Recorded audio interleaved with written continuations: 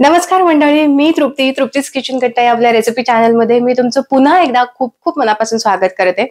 आज आपण वाळवणाचा एक पदार्थ पाहणार आहोत. अगदी झटपट हा तयार होतो आणि विशेष म्हणजे कमी साहित्यामध्ये कमी मेहनतीमध्ये अगदी कोणाचीही मदत न घेता हा पदार्थ तुम्ही तयार करू शकता. अगदी साधे सोपेच पदार्थ आहेत. फक्त थोड्याशा टिप्स आणि ट्रिक्स मी इथे सांगितलेल्या आहेत. त्या तुम्ही जशाच्या तशा फॉलो करा आणि बघा मस्त पापड तयार होतात.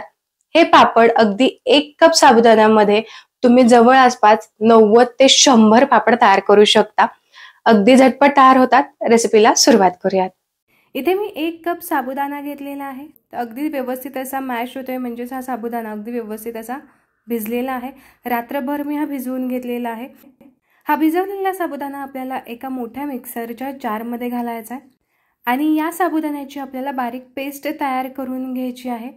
पेस्ट तयार करण्यासाठी याच्यामध्ये अर्धा कप आपल्याला पाणी घालायचं आहे ज्या कपामध्ये किंवा पेल्यामध्ये तुम्ही साबुदाणा घेतलेला आहे त्याच कपाच्या अंदाजानुसार आपल्याला अर्धा कप इथं पाणी घालायचं आहे आता याची बारीक मऊसर अशी पेस्ट तयार करून घेऊयात. साबुदाणा मी बारीक करून घेतला आहे पण आपल्याला अशा प्रकारची एखादी जाड बूड असणारी कढई लागेल किंवा ऐवजी तुम्ही पातेलं देखील घेतलं तरी देखील चालेल. इथे अशा प्रकारे एखादी चाळणसुद्धा आपल्याला लागणार आहे. इथे मी पूर्णाची चाळण घेतली आहे आता यामधूनच आपल्याला बारीक करून घेतलेला साबुदाणा व्यवस्थित असा गाळून घ्यायचा आहे. आपण हा साबुदाणा जरी बारीक करून घेतला असला तरी देखील काही अख्खे साबुदाणे याच्यामध्ये राहतात. आणि हे आपल्याला अख्खे साबुदाणे किंवा अर्धवट फुटलेले साबुदाणे नको आहेत. यासाठीच आपण हे गाळून घेतोय. तर हे बघा थोडाफार जाडसर असा साबुदाणा राहिलेला आहे. आणि खाली अगदी व्यवस्थित अशी पेस्ट याची आलेली आहे. हे पहा मस्त बॅटर आलं आहे आता हे राहिलेला साबुदाणा आपण पुन्हा एकदा मिक्सरच्या भांड्यामध्ये घालूयात. आता यानंतर दोन मीडियम साईजचे बटाटे मी इथं घेतलेले आहेत. आता याच्यावरची जी साल आहे ती पूर्णपणे आपण काढून घेऊयात. बटाट्यावरची साल काढून मी हे बटाटे स्वच्छ धुवून घेतलेत. आता आपल्याला बटाटे कट करून घ्यायचे आहेत बटाट्याची सुद्धा आपण पेस्टच करून घेणार आहोत. यासाठीच लहान मोठे कसेही तुम्ही कट करून घेतलेत तरी देखील चालतील. आणि हे घ्या दोन्ही बटाटे मी चिरून घेतलेले आहेत. यानंतर ज्या भांड्यामध्ये आपण साबुदाणा बारीक केलेला आहे त्याच भांड्यामध्ये घालायचं आहे राहिलेला साबुदाणा आणि बटाटा दोन्ही एकत्रच आपल्याला बारीक करून घ्यायचं. आहे बटाटा बारीक करण्यासाठी पुन्हा मी अर्धा कप पाणी वापरणार आहे. अर्धा कप पाणी घालून मी बटाटा अगदी व्यवस्थित बारीक करून घेतलेला आहे.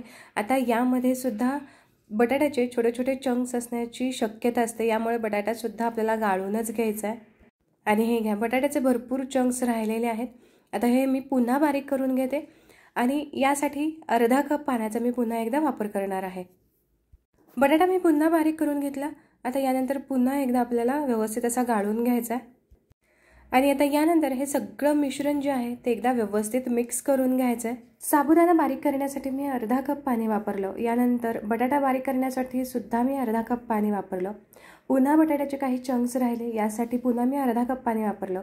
असं टोटल आत्तापर्यंत मी दीड कप पाणी वापरलं. आता यानंतर आपल्याला पुन्हा याच्यामध्ये तीन कप पाणी घालायचं आहे आत्ता मी एक कप घातलं हा दुसरा कप आणि याचबरोबर आणखीन एक हा तिसरा कप. तर आधीचे दीड कप आणि आत्ताचे तीन कप असे साडेचार कप मी याच्यामध्ये पाणी घातलं.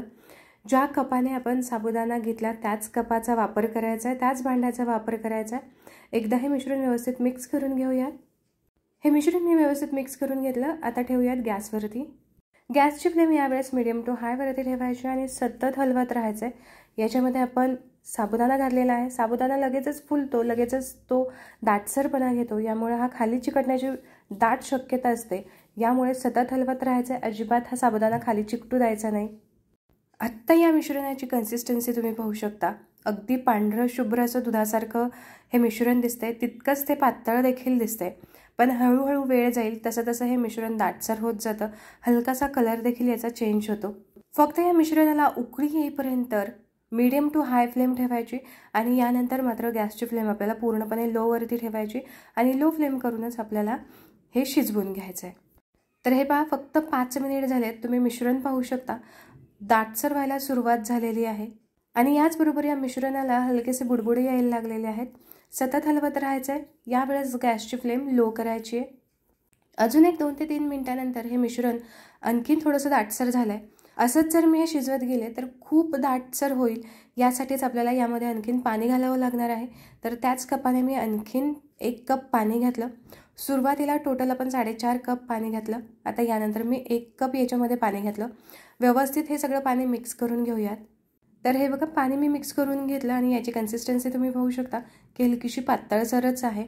आता यानंतर गॅसची फ्लेम लोज ठेवायची आहे आणि आणखीन एक पाच मिनिटांसाठी मी हे शिजवून घेते. आणखीन पाच मिनिटांसाठी मी हे शिजवून घेतलं. आता पुन्हा एक अर्धा कप आपण याच्यामध्ये पाणी घालूयात. कारण हे मिश्रण अजूनही मला थोडंसं दाटसर वाटत होतं. मिक्स करून घेऊयात.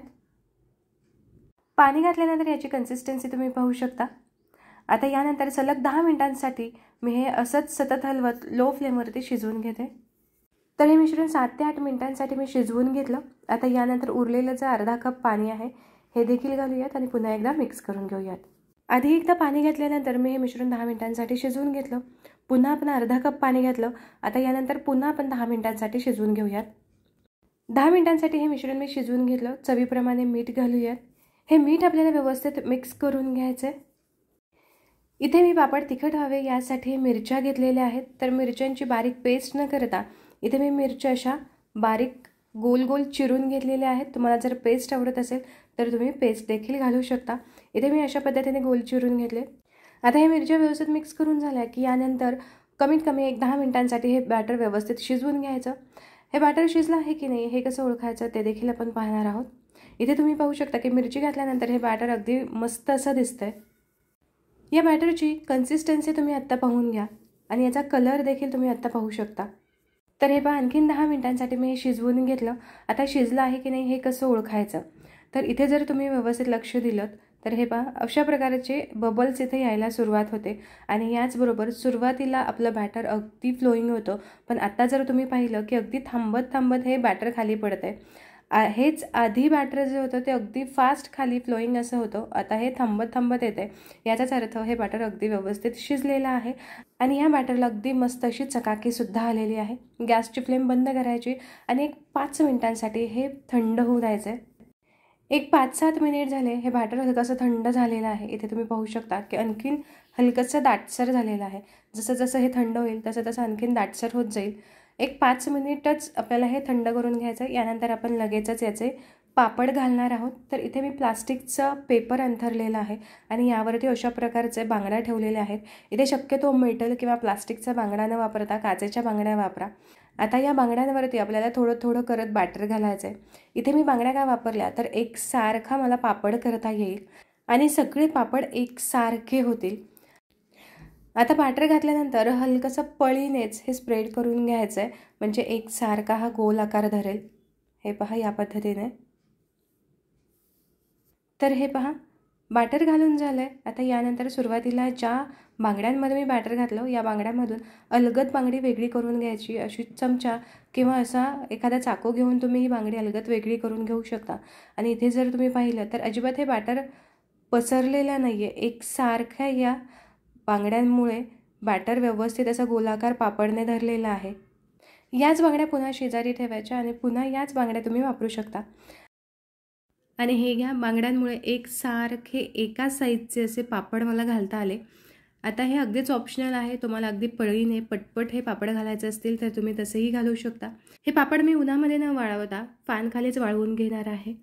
आणि हे घ्या घरामध्येच फॅनच्या हवेखाली बारा ते पंधरा तासांसाठी मी हे पापड अगदी व्यवस्थित असे वाळून घेतले.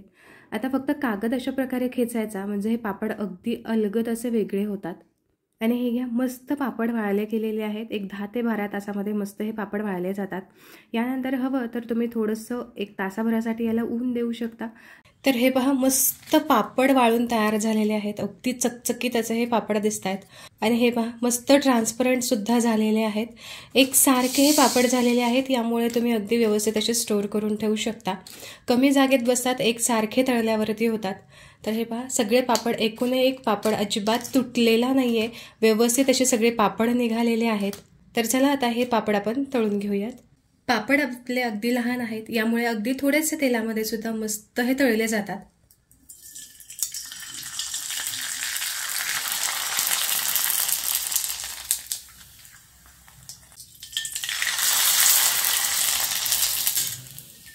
मस्त पांढरे शुभ्रे असे पापड होत आहेत.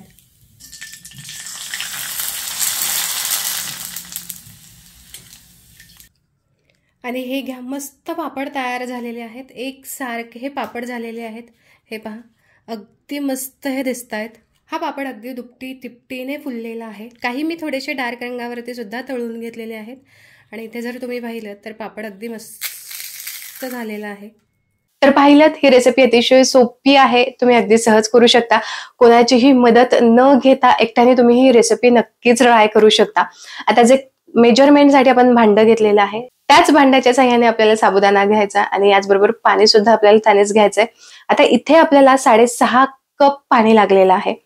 पण जर तुमचं प्रमाण थोडंफार कमी झालं असेल तर मात्र अर्धा ग्लास किंवा अर्धा कप कमी जास्त तुम्हाला लागू शकतो.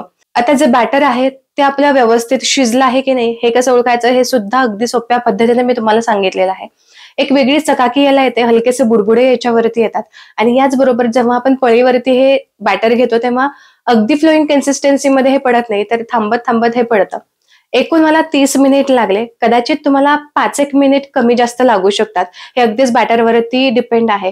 आपण हे पापड बांगड्यांमध्ये केले त्यामुळे साईजलाही थोडेसे लहान झालेले आहेत. तुम्ही जर डायरेक्ट पळीने कराल तर काही लहान काही मोठे होण्याची शक्यता असते. यामुळे जी क्वांटिटी आहे जसं की माझे इथे जवळ आसपास त्र्याण्णव चौऱ्याण्णव असे पापड झाले. तुमचे थोडेफार कमी जास्त असे होऊ शकतात. आता हे पापड फॅन खाली पंधरा तासामध्ये अगदी आरामात माझे पापड वाळलेले आहेत.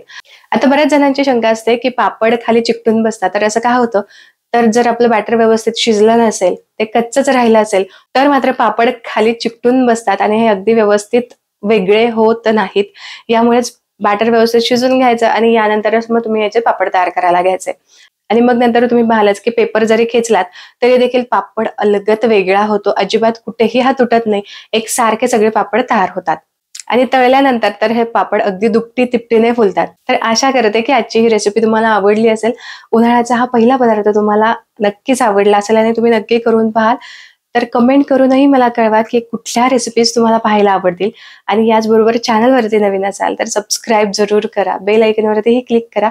म्हणजे मी पोस्ट केलेल्या सगळ्या व्हिडिओंची नोटिफिकेशन तुमच्यापर्यंत येतील आणि तुम्ही एकही व्हिडिओ मिस करणार नाही. पुन्हा भेटूया अशाच एका मस्त रेसिपीसोबत तोपर्यंत. स्वस्त राहा आणि मस्त मस्त खात राहा.